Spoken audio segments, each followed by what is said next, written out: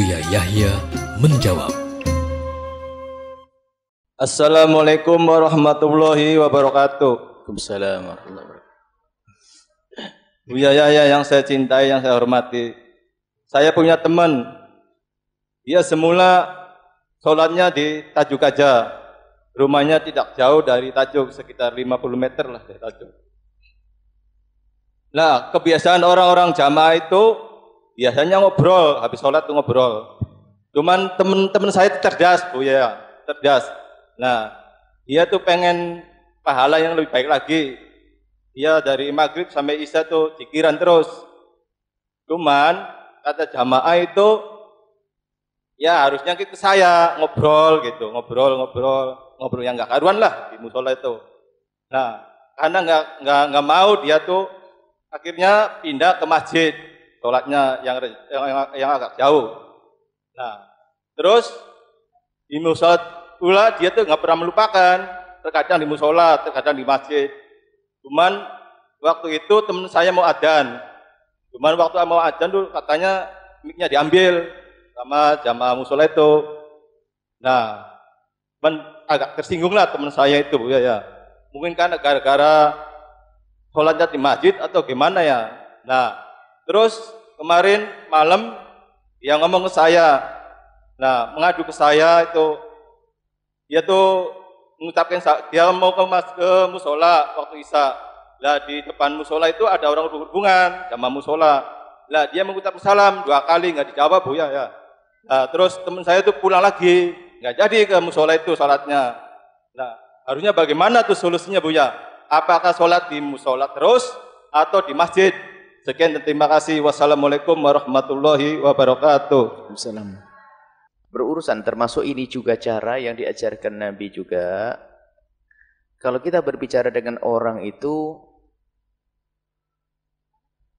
berhati-hati ya disesuaikan dengan kemampuan cara berpikir mereka dan dakwah mengajak kepada kebaikan itu yang harus kita hindari adalah menyinggung perasaan mereka sahabat anda sangat baik tidak senang jika ada di musola orang ngobrol terus. Kemudian berusaha untuk merubah itu semuanya dengan diadakan zikir dan itu pun tidak berjalan sepertinya. Sehingga mungkin akhirnya pergi sholat di masjid. Setelah sholat di masjid, sesaat juga sholat di musola. Rupanya jamaah sudah tersinggung perasaannya sehingga muadzan saja disebut miknya, direbut miknya. Memang berurusan dengan orang banyak ini harus berhati-hati. Ada orang yang memang maksudnya baik, cuman karena tidak berhati-hati, kadang menjadi orang tersinggung. Mungkin waktu kita pergi ke masjid perlu lihat, waktu pergi ke masjid bagaimana? Mungkin kalau pergi ke masjid ya minta izin deh.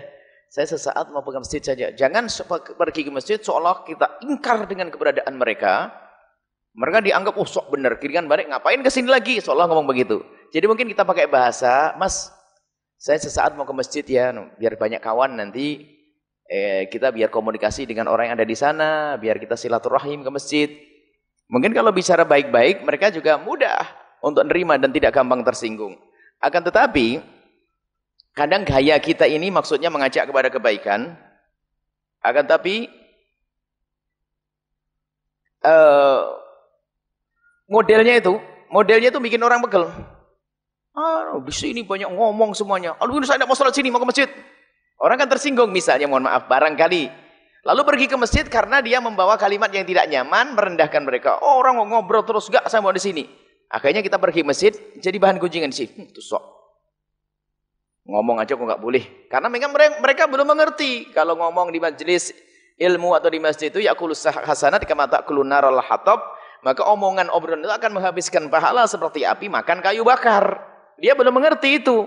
Kalau belum mengerti mungkin difahamkan dengan halus, bukan berarti serta-merta kita tinggalkan. Termasuk pendidikan dari Nabi itu begini. Jika ada orang yang kita ajak kok ternyata mereka protes kepada kita, jangan disalahkan mereka. Hendaknya koreksi. Pertama adalah diri kita. Mungkin salah waktu kita melangkah dulu. Dan kalau kita memulai dari diri, diri, diri kita yang koreksi, maka langkah pertama adalah apa? Meminta maaf kepada mereka. Biarpun yang salah mereka. Orang awam dia Bahkan mungkin di masjid, di musola, di, di tajuk main kartu. Wah ini kan berbahaya sekali. Orang awam nggak bisa serta merta kita apalagi merasa mereka yang membangun. Tapi kan saya sholat habis sholat sisa waktunya untuk main kartu. Kan tidak ada judinya bisa ngomong begitu nanti dia.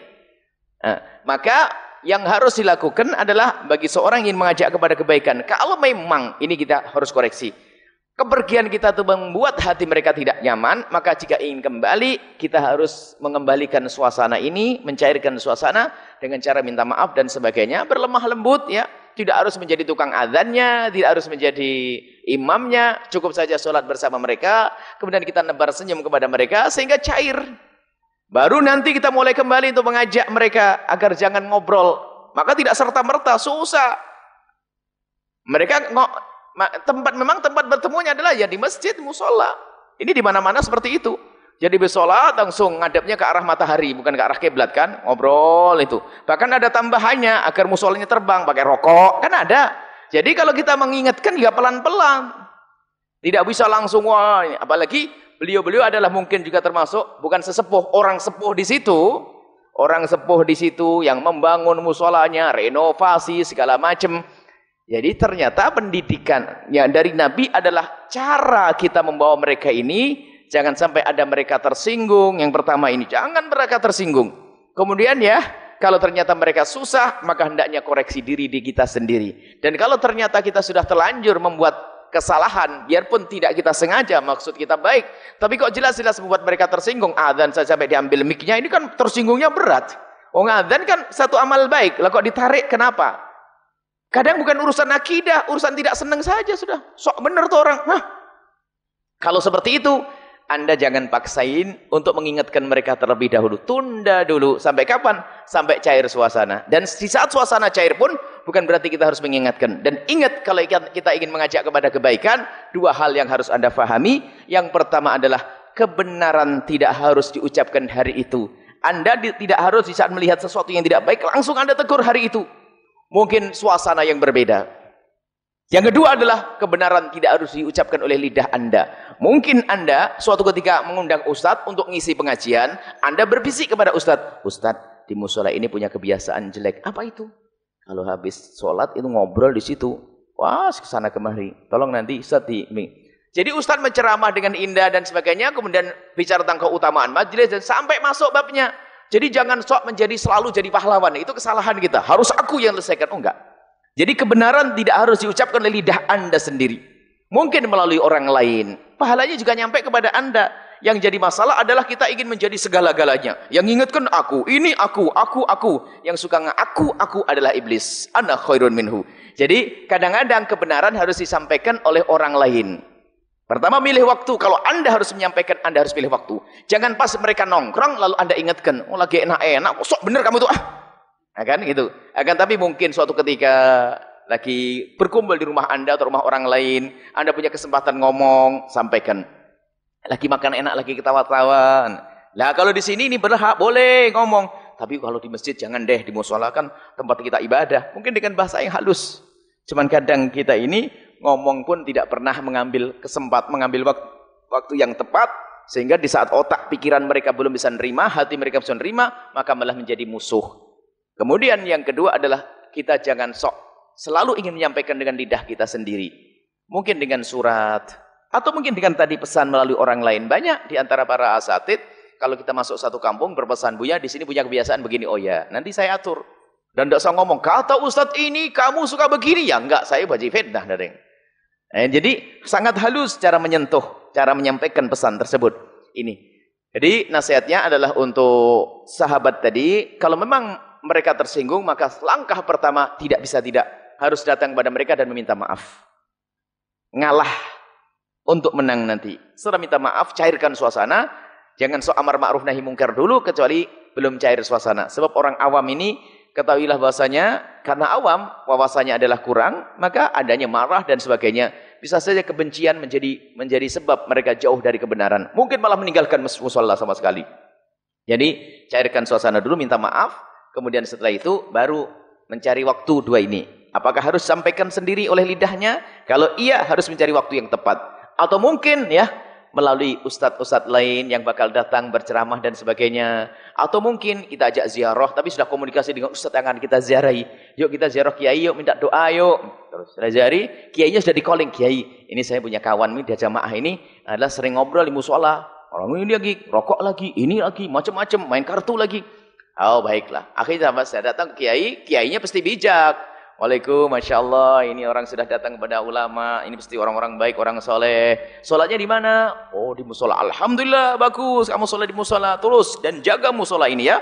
Karena kamu sudah ahli musola, kamulah yang menjaga musola. Siapa lagi yang menjaga musola kalau bukan kamu? Maka jangan sampai ada orang lain ngobrol di situ, jangan ada orang lain main kartu di situ. Padahal dia sendiri. Tapi tidak marah dia.